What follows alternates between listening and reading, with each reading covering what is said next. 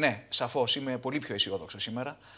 Ε, οι κεντρικές τράπεζες και οι δημοσιονομικές αρχές πολλών χωρών του κόσμου έδρασαν ε, σωστά κατά τη διάρκεια της, ε, της, της πολύ μεγάλης αυτής κρίσης.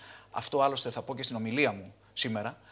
Ε, και μπορούμε να ατενίσουμε το μέλλον με πολύ μεγαλύτερη αισιοδοξία από ό,τι τότε, από ό,τι, από ό,τι το 2008, 2009, 2010. Η αρχιτεκτονική της Ευρωζώνης παραμένει ακόμα ατελής, Πρέπει οπωσδήποτε να προχωρήσουμε στην πλήρη τραπεζική ένωση με μια πανευρωπαϊκή εγγύηση καταθέσεων, με ένα δημοσιονομικό εργαλείο στο κέντρο της Ευρωζώνης. Αυτά είναι βήματα που πρέπει να γίνουν. Ένα σημαντικό συμπέρασμα από την κρίση είναι ότι η προσαρμογή πρέπει να είναι συμμετρική. Δηλαδή, όχι μόνο οι χώρες που έχουν ελλείμματα, αλλά και οι χώρες που έχουν πλεονάσματα πρέπει να, να προσαρμόζονται.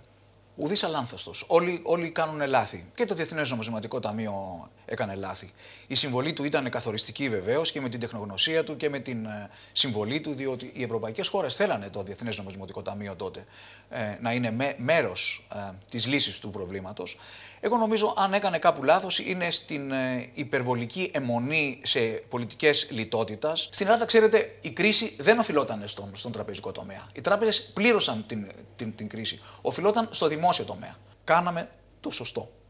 Και το καλό είναι ότι ακόμα και αυτοί που φωνάζανε παλιά, σήμερα πήρανε μέτρα και είχαν και αυτοί μια θετική συμβολή. Όπως υπήρχε λαϊκισμός στην Ελλάδα, έτσι υπήρχε και λαϊκισμός, να πω να πω, και στη Γερμανία. Θυμίζω τα δημοσιεύματα και, και, και στις δύο πλευρές.